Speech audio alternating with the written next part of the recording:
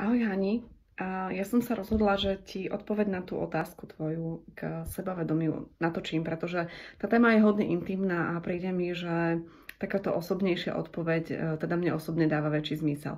A je toho teda celkom veľa, čo chcem povedať, takže by e, to bolo aj dlhé písanie. Riešiš to, že vlastne sa necítiš dostatočne sebavedomá, že máš pocit, že to, čo si urobila, nestojí za zmienku, že nemá zmysel dávať nič na Facebook, lebo koho, koho by to zaujímalo. Ono je to v našom živote tak, že vlastne ten vonkajší svet vždy len odzrkadľuje našu vnútornú hodnotu. To, ako my sme vlastne uh, nastavení sami voči sebe. A tá otázka zásadná podľa mňa znie, ako zaujímaš ty sama seba? Nakoľko ty si fascinovaná sama sebou? Nakoľko ty si schopná, ochotná vlastne sa pochváliť, oceniť a nakoľko to čakáš vlastne zvonku. Ono je to fakt, že treba mať aj v tomto so sebou súcit, pretože nikto nás to neučil. Väčšina z nás nevyrastla v prostredí, ktoré by bolo podporujúce práve v tom, aby sme si boli vedomi seba. Toho, kým som, to, čo chcem, čo cítim, ako to chcem, pozitívne pocity, negatívne pocity, že by všetko smelo byť. Väčšina z nás naopak bola vlastne e, vychovávaná spôsobom, tak ako našich rodičov vychovávali ich rodičia, to nie je žiadna kritika, je to len konštatovanie, spôsobom, že tu si sadni, e, buď ticho, urob to tak, ako poviem, buď dobré dievča. A naozaj my sme vyrástli v tom archetype toho dobrého dievčaťa, tá, ktorá všetko urobí, ako jej povedia, neprejavuje žiadne negatívne pocity, vôbec nerieši, ako to má, čo by chcela. Len je takým spôsobom nejak zametaná tým životom, keď si predstavíme tie rozprávky archetypálne, hej, snehulienka, ktorá teda urobí všetko, čo macocha povie a len čaká na toho princa. A až po tú, ja neviem, teraz mi vypadla tá druhá, druhá princezna, ktorú som chcela spomenúť. Uh, Popoluška, jasné, Popoluška, to je to isté. Len čakáme na princa. Až po filmy, ktoré sme, ktoré sme pozreli ako malé. Uh, Hriešný tanec. Opäť, nedávno som to spomínala jednej kamarátke, ktorá tiež riešila vlastne režim dobrého dievčaťa, že my čakáme, že teda budeme sedieť v tom kúte, tam tížko ako myšky, úplne schované a príde ten Petrik, ktorý povie, baby, nebude sedieť v kúte a my potom vylezieme na to pódium a tam proste to roztočíme. V živote to takto nefunguje. Proste keď my neocenujeme same seba, keď my to same v sebe nemáme, tak nám to ten vonkajší svet bohužiaľ nemôže odzrkadliť. Uh, tí princi, princovia a patrikovia len takto nechodia. Uh, naozaj sme boli vychovávané v tom, neprejavuj sa, nie je dôležité, ako to máš.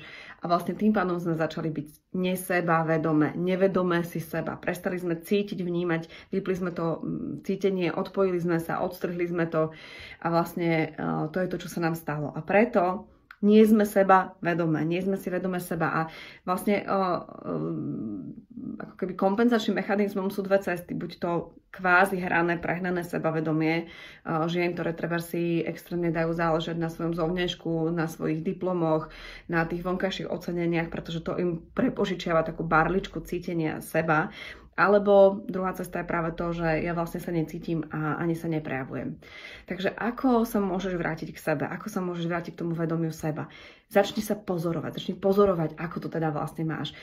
Začni vnímať, čo ma teší, čo mi robí dobre, v čom sa cítim príjemne, za čo sa dokážem ja sama oceniť, čo sa mi podarilo, čo viem, čo mi ide, ako to mám.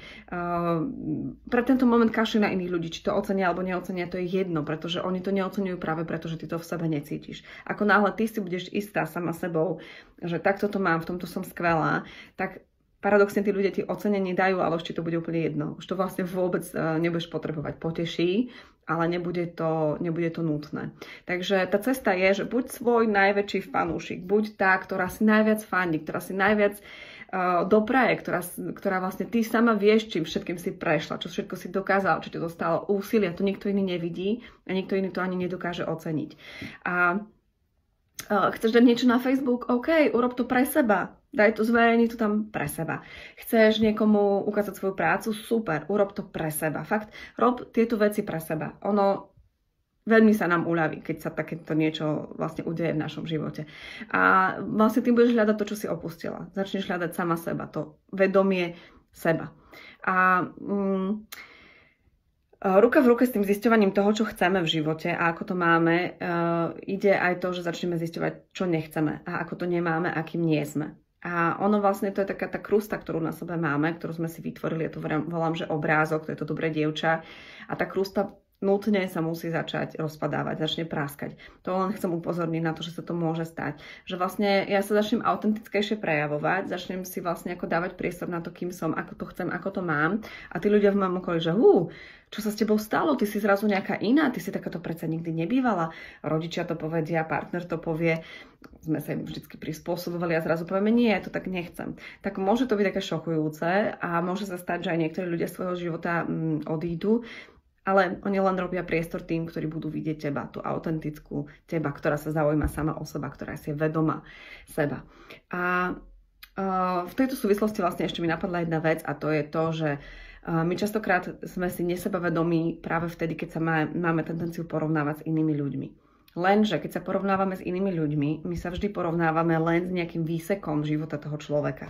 To znamená, že neporovnávame celý jeho život, ale vezmeme si len časť, keď sa nám niekto páči ako Uh, ako má prácu, ako má kariéru, tak porovnávame našu kariéru s jeho kariérou. Ale už neporovnávame vzťahy, už neporovnávame zázemie, čas, ktorý máme na svoje koničky, na svoju rodinu a tak ďalej. Len ten čistý výsek, alebo teraz pozrieme, že je, aké ona má proste úžasné partnerstvo, koľko má času na deti, ale pozrieva, pozor, mm, porovnávame vlastne len tento výsek a nič ostatné v tom celom, že možno, že ona vlastne nemá priestor sa realizovať, ehm, nie, ja neviem, nechcem si teraz ako úplne vymýšľať, ale jednoducho neporovnávame celé to. To znamená, že skús sa pozrieť na celý ten koláč, celý ten kus toho tvojho života keď sa porovnávaš s niekým iným, skúsi sa ma pre seba povedať, či by si to vymenila komplet celé s tým človekom.